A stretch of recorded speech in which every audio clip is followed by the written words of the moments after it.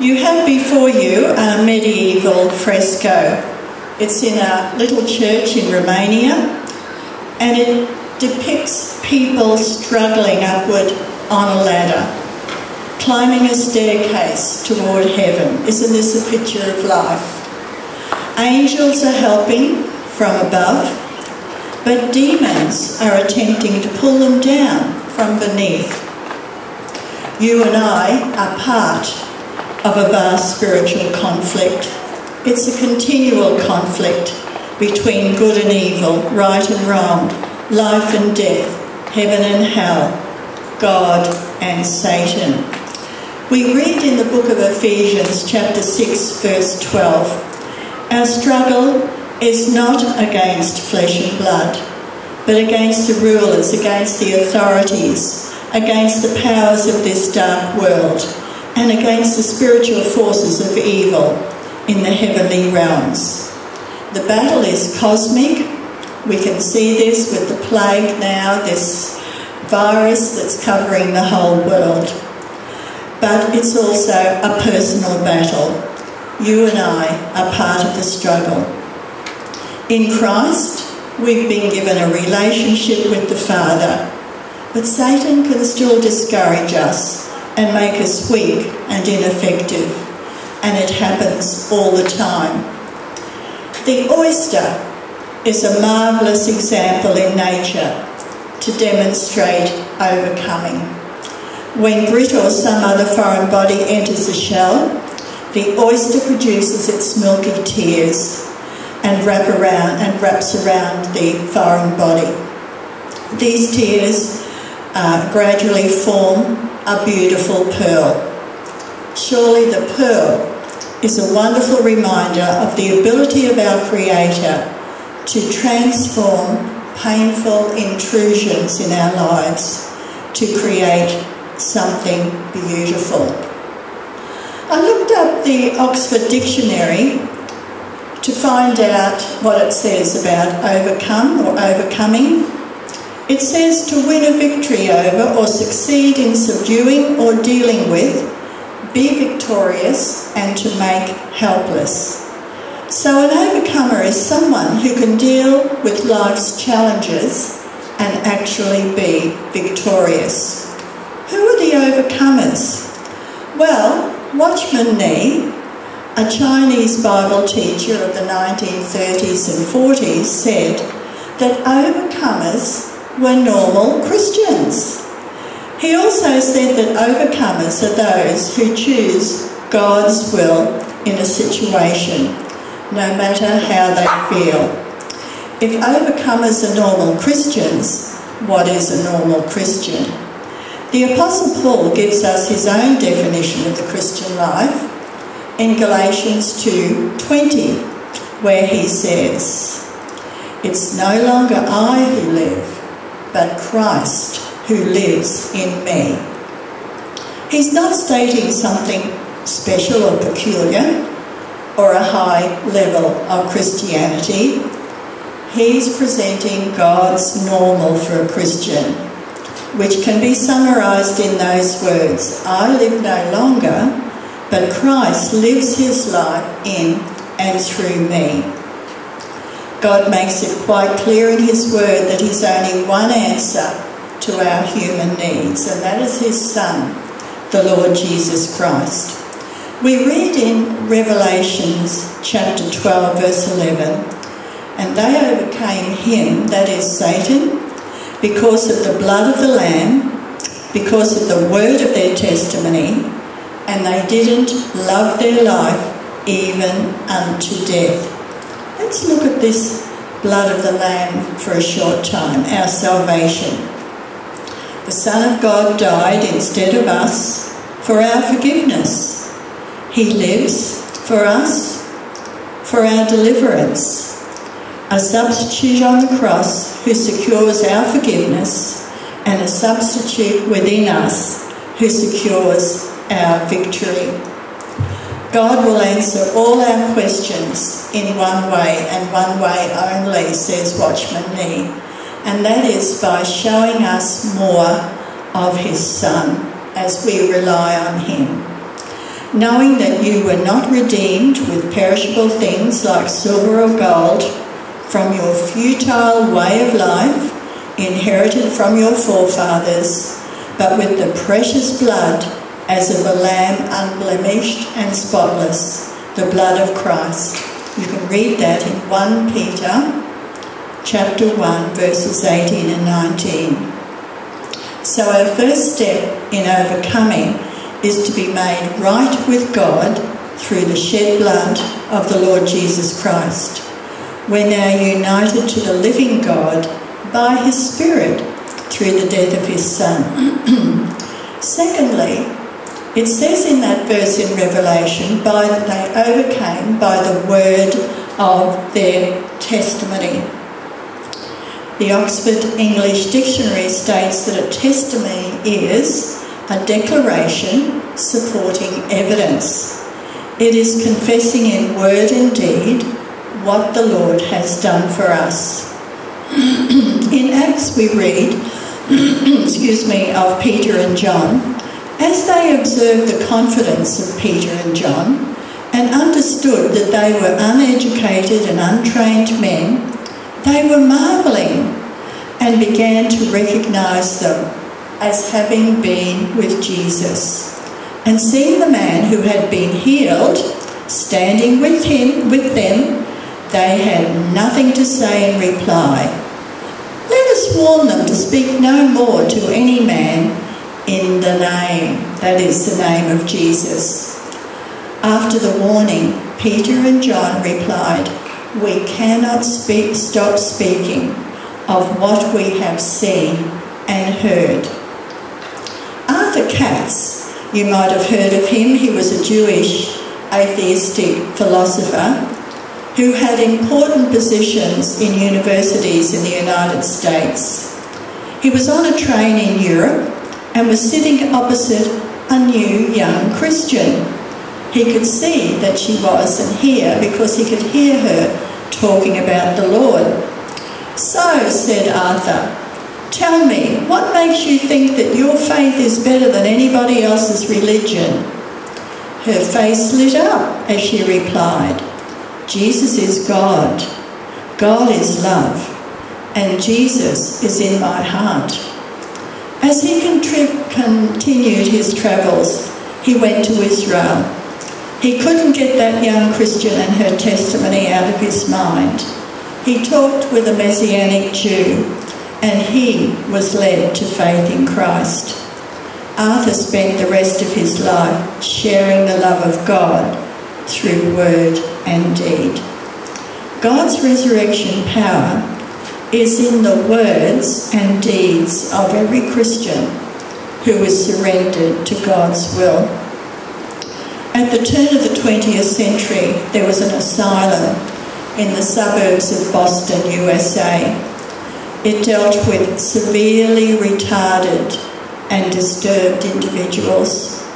Little Annie was one of them. She was totally unresponsive to others.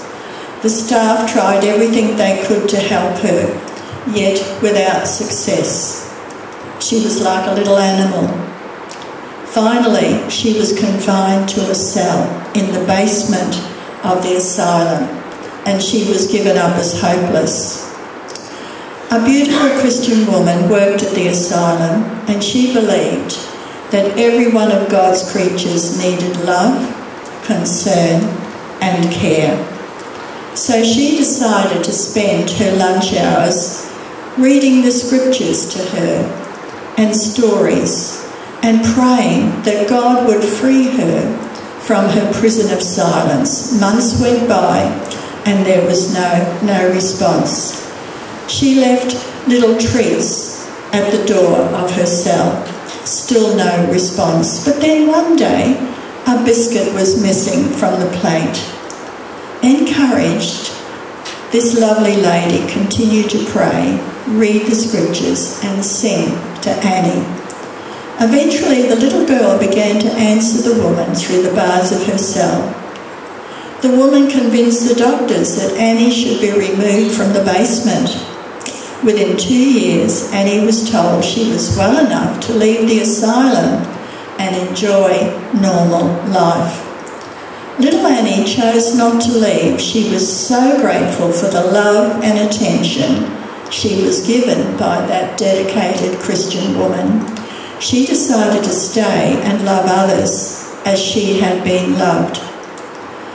Anne Sullivan not only regained her sanity through the love and testimony of that devoted Christian asylum worker, she was led to a strong faith in the Lord Jesus Christ.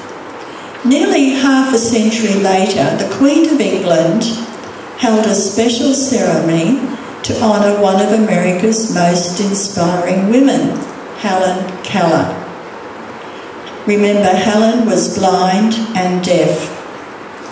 When asked to what she would attribute her success at overcoming the dual handicap of blindness and deafness, Helen Keller said, If it hadn't been for Anne Sullivan, I wouldn't be here today. Because Anne taught Helen to communicate through an alphabet that Anne invented in writing on Helen's hand. Anne was able to persevere with a greatly disturbed child, Helen Keller. You've read anything of Helen, you'll understand what she was, what she had to deal with as when Helen was a little girl. And so Anne created that alphabet, and Helen herself came to faith in Christ. And then we read in that verse in Revelation, they love not, the overcomers love not their lives unto death. Overcomers are not controlled by fear. We read in John chapter 14 1 Let not your heart be troubled, neither let it be afraid. Believe in God or rely on God, believe also in me. And then in Philippians 4, Paul wrote this from a prison Be anxious for nothing, but in everything by prayer and supplication with thanksgiving, let your requests be made known to God. And the peace of God, which passes all understanding, will keep your hearts and minds in Christ Jesus. You know, a most amazing victory over fear and death is the gigantic battle that happened between David and Goliath.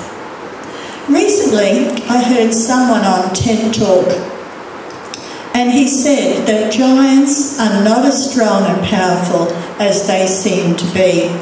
I do recommend Malcolm Gladwell on TED Talk. He, he tells the unheard story of David and Goliath. And this is, I'm going to repeat some of the things of what Malcolm said. But first of all, we can read of the story of David's defeat of the giant Goliath. It's found in the first book of Samuel, chapter 17, verses 20 to 58. It's worthwhile looking at that. David was a young teenager at the time. He was a shepherd who was skilled in the art of stone throwing. However, when he had to face Goliath, he ran into the battlefield to face him. If this battle wasn't going to be won by David, he would be killed, and David's people, the Israelites, would be led into servitude under the cruel Philistines. However, Goliath was led onto the battle floor by an attendant and he moved very slowly. It's been said that Goliath suffered from a condition called granulosa acromegaly. It's the result of a benign tumour that caused gigantism and partial blindness. Other people, since Goliath's time, who've had this um, who were giants, they had this same problem. They were partially blind. Although David only had one stick, a sling, and a bag of five stones, the giant yelled at him, Am I a dog that you come to me with sticks? His vision was impaired. He didn't see what else David had. But he didn't see the God who was behind David. he's only seen through the eyes of faith. David was able to confidently say, You come to me with a sword, a spear, and a javelin, but I come to you in the name of the Lord of hosts, the God of the army of, armies of Israel, whom you have taunted. This day the Lord will deliver you up into my hands, and I will strike you down and remove your head from you. And I will give the dead bodies of the army of the Philistines this day to the birds of the sky and the wild beasts of the earth, that all the earth may know that there is a God in Israel, and that all this assembly may know that the Lord does not deliver by sword or by spear, for the battle is the Lord's, and he will give you into our hands. David struck and Goliath, sorry, David struck and killed Goliath with his first stone. So my question is, are you an overcomer? Is the God of David your God? Are you allowing the Lord to be your strength as you face each new challenge? You may have come across this, but the Bible talks of a book of remembrance. This is found in Malachi chapter 3, verse 16. This is what the verse says Then those who feared the Lord spoke to one another, and the Lord gave attention and heard it and a book of remembrance was written before him for those who fear the Lord and who esteem his name. So when the Lord is listening to our conversation and he hears us talking about him and what he has done for us, he makes a note of us, a note of it, because it gives him great joy. If God records every time he sees us speaking well of him, then we need to keep a book of remembrance to record each time we see the goodness of God in our own lives. For example, answers to prayer, encouragement from a friend, when God gives us favour with people. I'm amazed because uh, I go to a women's prison and God has given me favour with the staff. It's been of Him, not of me. Recognising God when He chastises us for a bad attitude. And so I give people, I keep a book of remembrance myself. I've done this for a number of years now. But I give this to prisoners as well, a little book, and I tell them to write in what they are thankful for for that day. And I tell the Christians, especially, to write in it um, how God has blessed and encouraged them. In Romans 12:21, this is a very good verse to remember.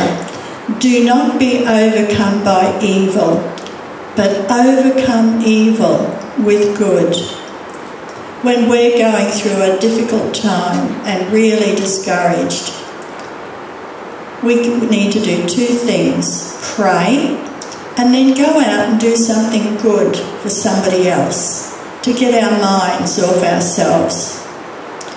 Yes, love the Lord and go and do good.